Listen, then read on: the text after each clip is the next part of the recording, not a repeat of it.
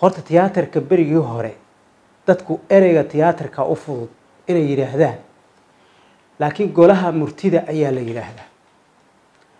Golaha murtida iyo madadaalada inta aan la ebyin dhismihiis wuxuu bilowday horta kun iyo sagaal boqol lixdan iyo lixdii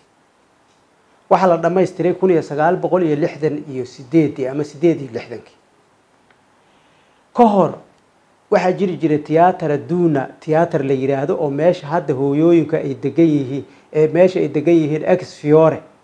ayuu ku ooli jiray intaan isaga la dhisin. Marka markii xornimada la qaatay ee baahidii dhaqankii iyo afkii iyo fankii iyo suugaantii ay kobceen ay koreen ayaa waxaa loo baahday marka tiyaatar weyn oo dadku isku wareystaan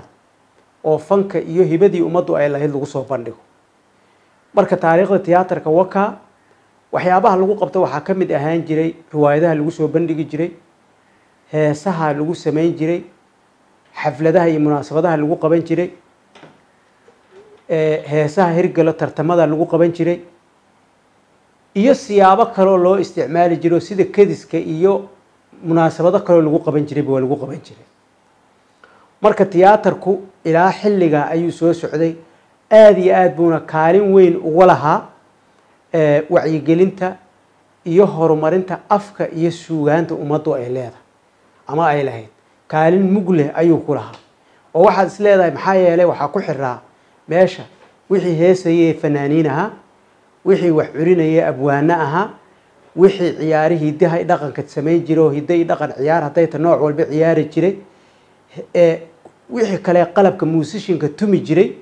iyo kuwii kale hibada gaarka lahaayee majaajilada iyo kaqoslinta dadka kaalinta ku lahaa. Intaas oo dhan waxa weeyaan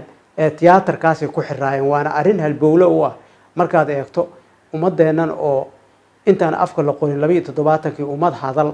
ama ummad suugaan ama ummad gabay ahayd kaalin weyn buu markaa tiyaatarku uu ku lahaa